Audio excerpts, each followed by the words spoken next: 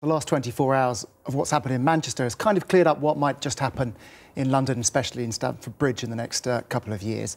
So Ferguson announces his retirement something in the region of 9 o'clock this morning.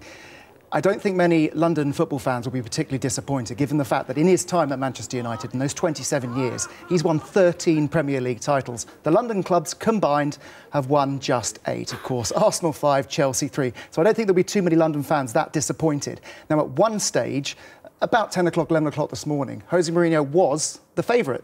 Just, but he was the favourite. And I think people were probably quite surprised about that. Since then, senior sources have been quoted at United saying he's not under consideration. He's not the kind of person we want at our club. So now he's something like six to one. David Moyes, the Everton manager, is the hot favourite. Mm. I think there are two things here with Mourinho and Manchester United. Firstly, they're all about longevity, about staying at the club for ages.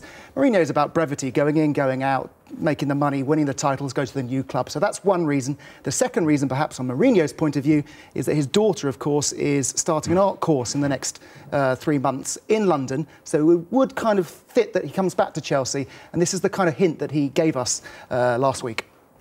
I know in England I'm loved. I know. I, I know I'm loved.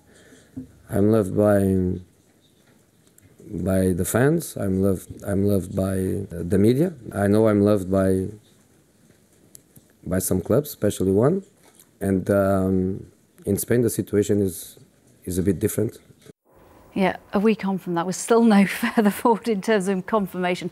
A big night tonight, which will determine what happens to Chelsea next season in terms of where they play and could determine who the next boss is. Well, very much so. Chelsea play Spurs, and of course, Chelsea, Arsenal, and Spurs are wrapped in this three way battle for two Champions League places. Chelsea play Spurs tonight. If Chelsea win, they will be nine points clear, and really, barring an absolute mathematical miracle, uh, they will be in the Champions League. Now, if that, if that is the case, Mourinho, of course, will think, hang on, coming back to Stamford Bridge, we've now got the Champions League qualification there. Uh, for, for, next season, I can strut my stuff at the best stadiums uh, in, the, in the Europe. So I think it's far more likely if Chelsea win tonight, they beat Spurs, they will, barring mathematical miracle, be in the Champions League. And I suspect Mourinho will be back at Stamford Bridge, and his ego will be bursting out of SW6 once again. Well, as I say, until we get confirmation, Richard Pallot, thank you.